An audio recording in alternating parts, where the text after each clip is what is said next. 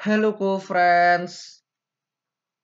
Jika mengerjakan soal seperti ini, maka rumus dan konsep yang harus kita ketahui adalah konsep mengenai skala.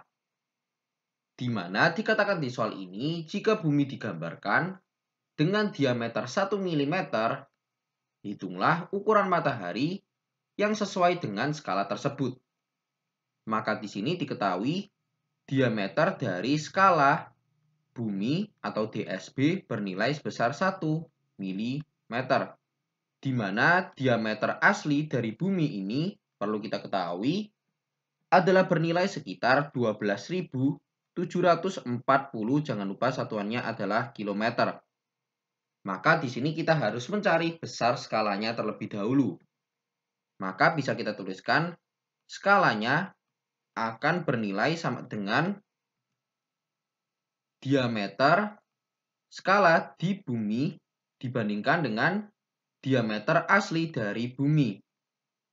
Maka di sini bisa kita kerjakan berarti akan bernilai sama dengan 1 mm dibandingkan dengan 12.740 km atau di sini adalah sama dengan 12.740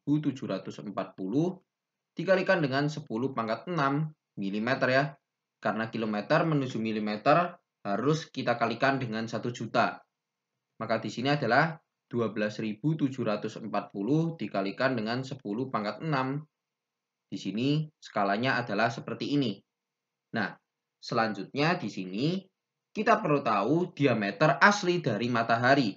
Bisa kita tuliskan berarti diameter asli dari matahari ini adalah bernilai sebesar 1.392.684 jangan lupa satuannya adalah kilometer atau bernilai sama dengan 1.392.684 dikalikan dengan 10 pangkat 6 mm.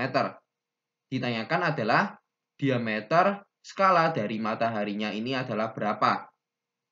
Maka untuk mengerjakan soal seperti ini, kita bisa masukkan ke dalam rumus juga, yaitu skala berarti akan bernilai sama dengan diameter skala dari matahari dibandingkan dengan diameter asli dari matahari.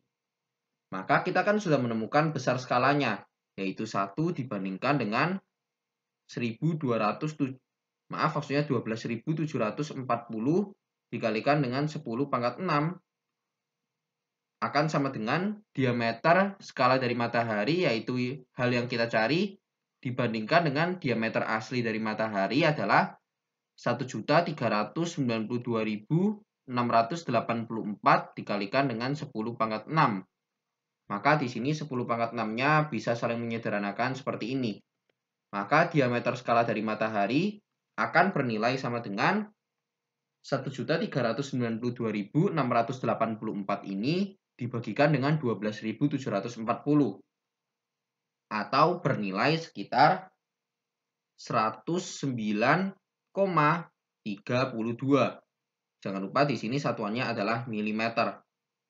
Maka bisa kita simpulkan bahwa nantinya untuk skala ukuran matahari yang sesuai dengan skala tersebut atau ukuran matahari yang sesuai dengan skala tersebut akan bernilai sebesar 109,32.